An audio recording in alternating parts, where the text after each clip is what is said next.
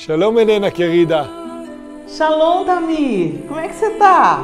Bom falar com você, meu amigo. Adivinha onde estou agora? Ah, o lugar exatamente eu não sei, mas certamente eu sei que é o meu lugar preferido no planeta.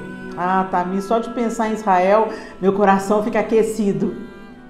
Helena, vamos fazer algo.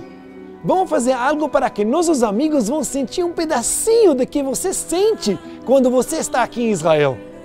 Ah, podemos fazer, mas o que você está pensando? Vamos fazer o seguinte: imagina os lugares que você gostaria de estar nesse momento.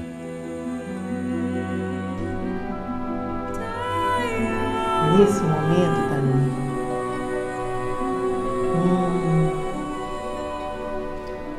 Jerusalém.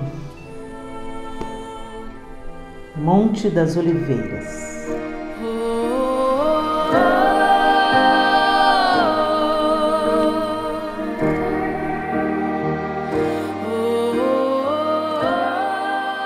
Do Monte das Oliveiras, avistamos a antiga cidade, milênios de história, cidade do grande rei. Jerusalém, haja paz entre seus muros. No Getsemane, as oliveiras são testemunhas centenárias. No lugar da prensa das azeitonas, o Senhor começa o seu martírio. Ele foi ferido por causa das nossas transgressões e moído por causa das nossas iniquidades. A tumba está vazia. A tumba está vazia. Onde está, ó morte, a sua vitória? Onde está, ó morte, o seu aguilhão? Ele ressuscitou. Aqui no jardim nós celebramos. Aqui nos lembramos até que ele venha.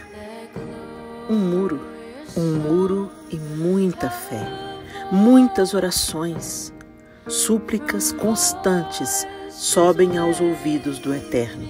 Manifesta teu poder, glória e majestade, ó Deus. Venha a nós o teu reino. Seja feita a tua vontade, aqui na terra como no céu.